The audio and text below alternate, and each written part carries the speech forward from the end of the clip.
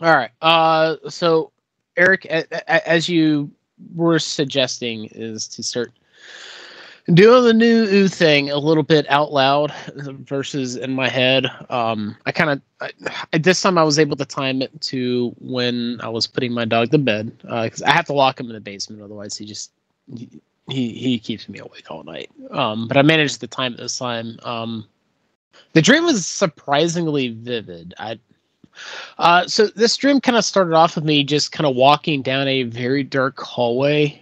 Um, it was kind of in a factory-like setting, um, but really old, kind of like stonework kind of thing. The walls were like middle age or uh, kind of like medieval kind of age, kind of stonework type things.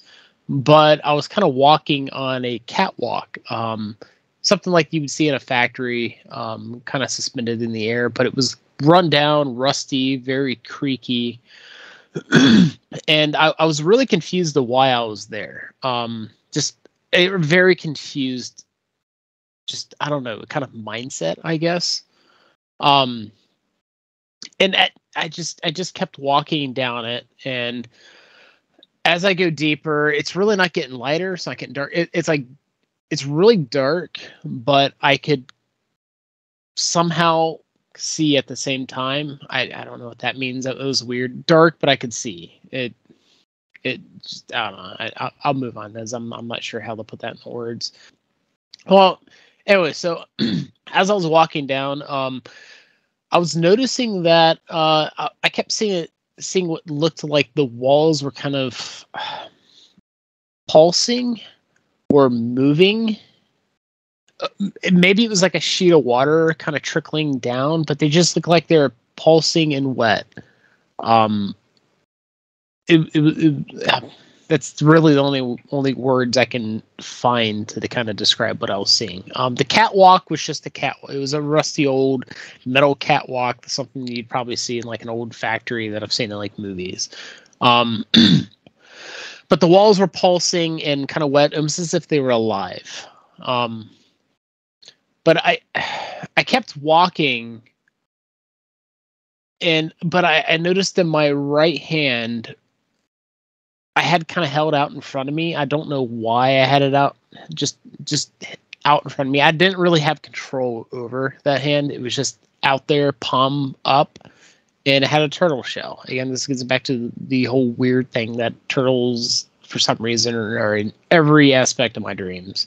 But this was just a shell. it wasn't like one of those robotic turtles or something I've seen in the past in dreams. Um, but it the, the shell kind of gave off this like aura or a draw of some sort that just yearning to keep moving forward. Don't stop. Just keep moving. And kind of, I had the sensation that if I was a stop, something bad may happen. Um, as I go forward, I come across a little T section. So I have a choice of going left or right. And in this case, I take a left. Um, the walls, immediately when I take the left, the walls just start moving and undulating like more, like more aggressively. Um, almost as if I had awoken something. Um, it it it kind it kind of I kind of had this feeling that the walls were moving and undulating in anticipation or something like that. Um, I halt suddenly as this begins to happen, as the shell in my hand begins to vibrate, like aggressively. Um, I feel it shoot all the way up my arm and kind of like down my spine, and then kind of around in the groin area, and it just kind of like sort of like spiraling upwards towards past my neck. It, it was weird.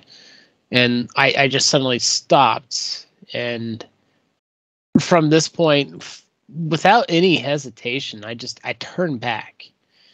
Go back to the kind of like the, the T intersection I came across in the catwalk. The catwalk hasn't changed. It's just the walls are more aggressively moving and pulsing. Um, so where I had turned left, I go straight, which brings me into the path, which would have been the right path. Um, the walls begin contracting inwards, as if it's trying to pull me back the way I just turned away from. Um, a draw of some sort, type of mental sensation. It wasn't a physical one. It was kind of like a mental sensation. Um, but I, nonetheless, I, I, I pushed through that. and as I keep walking forward, the walls begin calming down. Kind of almost to the point, kind of like where when I first start remembering the parts of the dream, everything was more calm. Sure, the walls are kind of pulsing a little bit, moving, but nothing like aggressive or it like wanted to get me. Um, I come across a sign on the wall. Um, I don't know if it makes any sense, but this was on the right side, um, right hand side of me, and it seemed kind of organic, moving as if it was alive on its own and it had this weird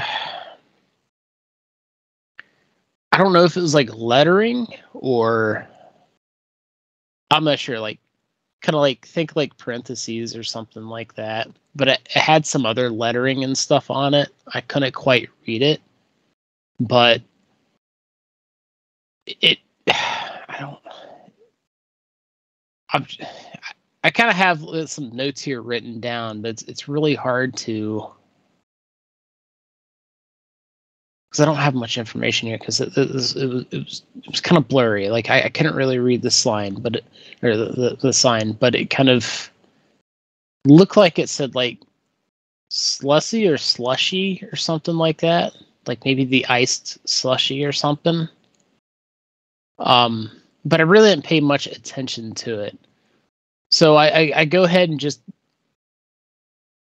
walk on past the sign, just just ignoring it. beyond the glance I gave it, because it, it, was nonsensical to me. I didn't really understand anything it said. Um, so I had just moved on past the sign, kind of ignoring it, other than just giving it a general glance because I didn't really understand anything on it, other than it said like slushy or something like that. I don't. I'm thinking like the ice slushy or something. Um, but in the distant, as I finally, uh, my, my head just for some reason kind of stared at the wall as I was walking for a little bit and then finally looked forward.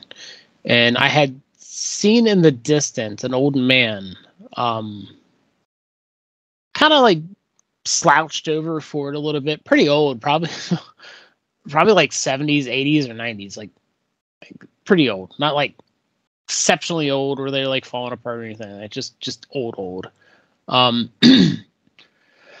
uh, pretty sure he was like, he wasn't white, but he wasn't black. He was kind of like a kind of like in between, kind of brownish color. Um, maybe a little bit lighter than that. But he had a really long gray white beard that kind of came down to his belly. Think of like Gandalf's beard or something like that. Um, just really actually if I, I I hadn't seen again I haven't seen that show that movie in a while. But it, it, was a really long white gray beard that went down to about his belly. And as it went down it got thinner and thinner kind of like into like a a, a point kind of like shape a, uh, a conical shape or something like that. Um I just immediately when I made eye contact with him he just had this nice demeanor about him a smile on his face and I just sensed physically and mentally kind of sensed just a very warm inviting sensation. He wanted me to to come closer keep approaching him. Um i really didn't feel any insecurity. In fact i i felt so i i try approaching further but i seem to never get closer as i'm approaching the old man. It's, it's the sensation he just was the same. He just felt really welcoming, warm, inviting, wanting me to come closer. But I, I keep walking down this catwalk, but I never seem to get closer. Th- this goes on for a while.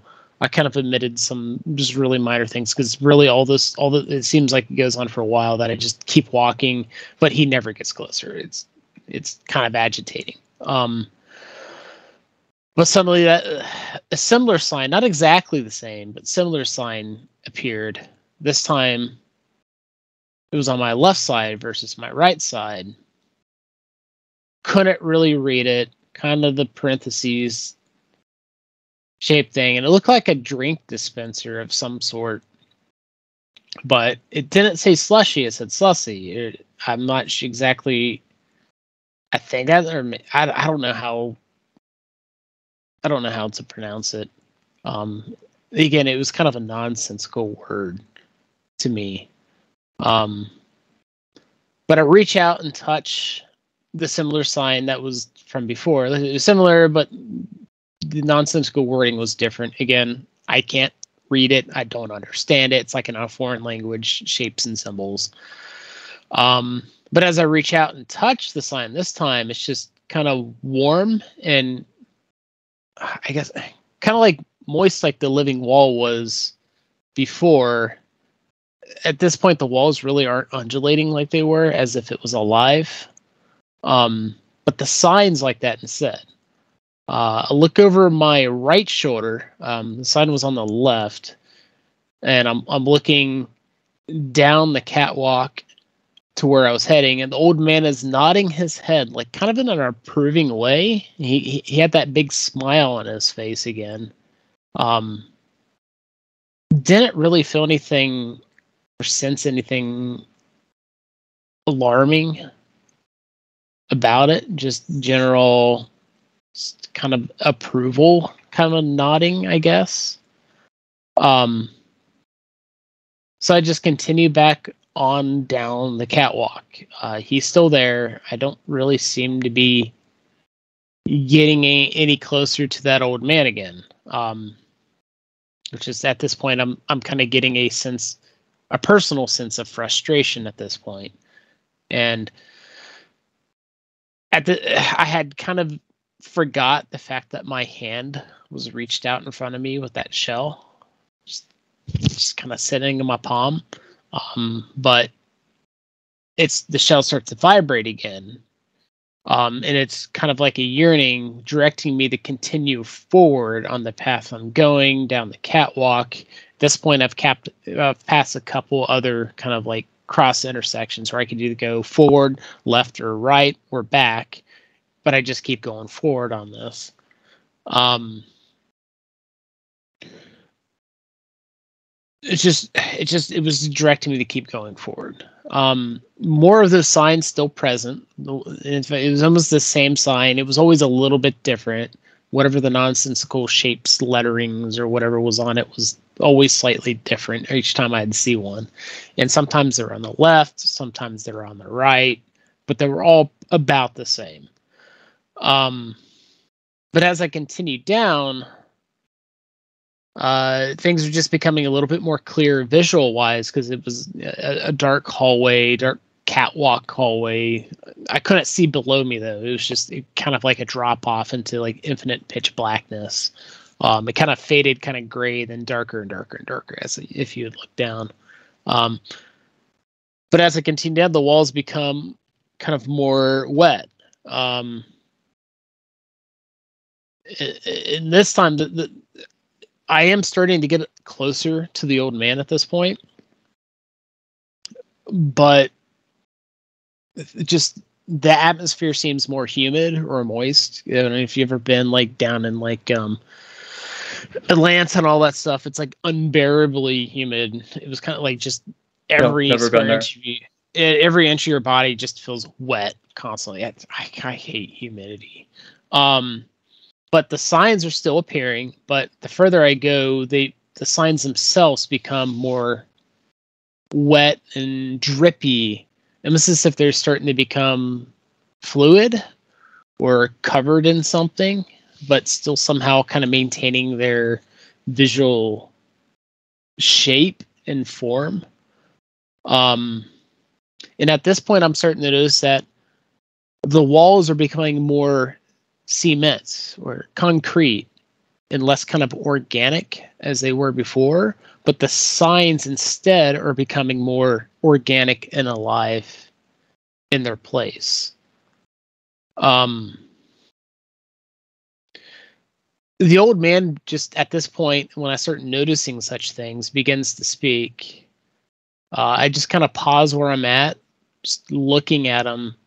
He's still off in the distance, but I had at this point started to get closer, I can't really understand anything he's he is saying. It it just sounds goobly gobs to me. Just I don't quite understand what's his lips are moving. I can hear the sound. It's just nothing's really processing. Um and though I feel or kind of sense what he was wanting to communicate mentally instead versus verbally hearing it, um, as if a pressure's kind of building in between my eyes along my forehead. Um, he wants me to study the the poster more. Um, at this point, I had walked a little bit further. The walls are mostly just concrete, and but the signs are more present. And I just kind of reach out kind of like what the old man was just telling me to reach out and just touch it. I I pressed my hand against the sign's wording. Um, it was like slushy or slussy or something. I I don't know. Um, not sure if that meant the frozen drink or not. Um, but at this point, just my hand kind of sinks in. It just feels kind of slimy the way the sign looked. And then next thing I know, uh, I wake up. Um, this one I actually remembered fairly vividly. I mean, there was a couple portions in it that are a little kind of on the um,